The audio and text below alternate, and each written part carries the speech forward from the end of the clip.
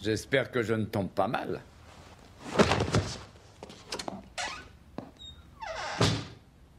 Est-ce que vous savez qui je suis?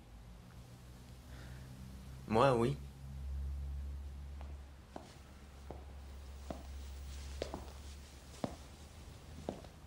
Très bien. Ça va nous faire gagner du temps. Moi, je sais pas.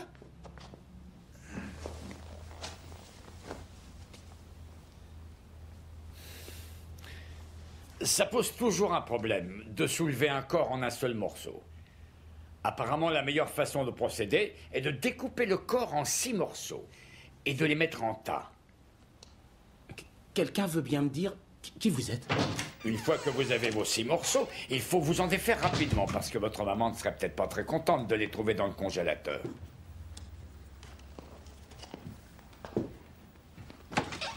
Il semble que la meilleure façon soit de nourrir les porcs avec. Il faut les mettre à la diète quelques jours. Pour un porc affamé, des morceaux de cadavre, c'est du coq au vin pour un poivreau.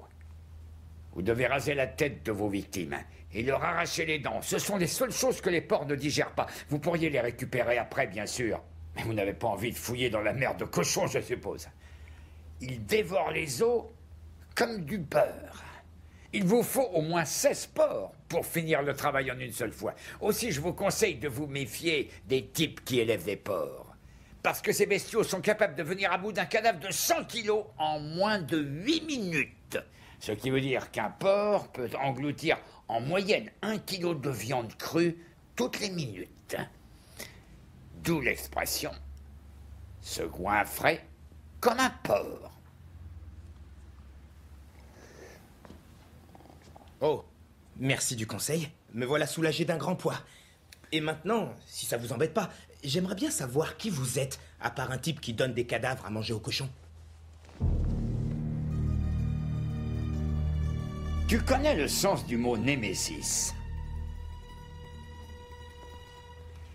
Un juste châtiment légitimement infligé par l'intermédiaire ou au moyen d'un agent approprié. Personnifié en l'occurrence par un redoutable salaud. Moi.